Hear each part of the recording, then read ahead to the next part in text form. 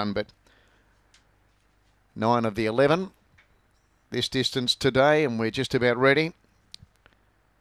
Just Annie favourite, box two. So we've got the green light.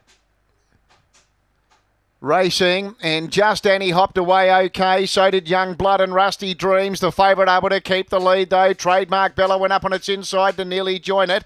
Bangor Sky went to third. Then Rusty Dreams, Young Blood. Uh, then Sweet Jazz, Assertive Fury. Last was Sweet Serenade on the turn. And Trademark Bella took up the front running. Three races down, three reds home. Trademark Bella first, just Annie second. Third might have been Assertive Fury just in front of Bangor Sky and Sweet Jazz. Further back then to Young Blood, Rusty Dreams, and Sweet Serenade. Trademark Bella picks up its second win here today.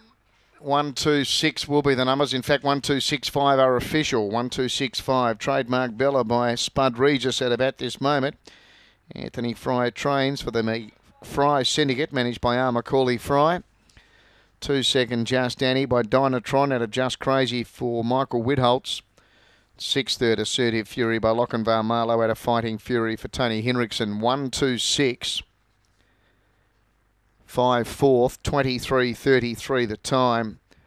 23.33.